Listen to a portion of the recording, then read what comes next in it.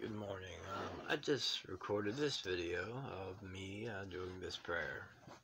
And I want you to know it's not out of vanity to show that, hey guys, listen, I pray every day. I'm a big whoop, whoop, whoop, whoop.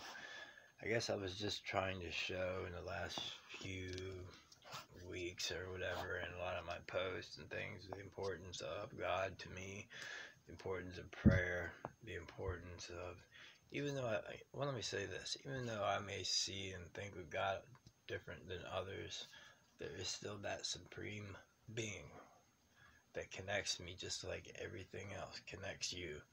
You know, I believe in Jesus Christ died for our sins. I was uh, also baptized and all, you know, but I also started at a Buddhist church. Besides that, I'm no guru, and I was just showing you kind of like a routine thing because I don't just don't want anybody to get the wrong idea.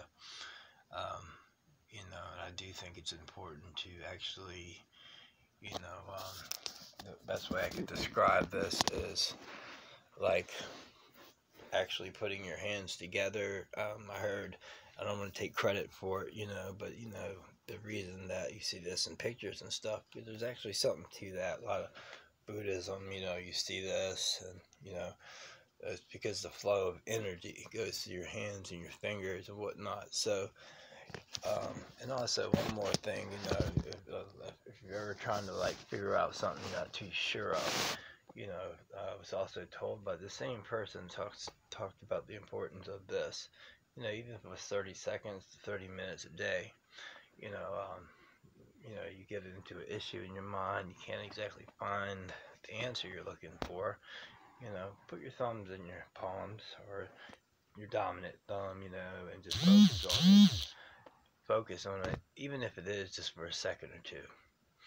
Um, anyways, I just I just wanted to throw these things out there and say I am not just some I'm not trying to claim anything but just a normal guy uh, doing some prayer and hopefully that you know by example as uh, it's, it's the way, you know. I just believe that um, there's some power in that as far as uh, growth, personal growth. And um, if you believe in prayer, you should uh, uh, do it every day. You know, uh, if you believe in it. Know. All right. Thank you. Have a good one.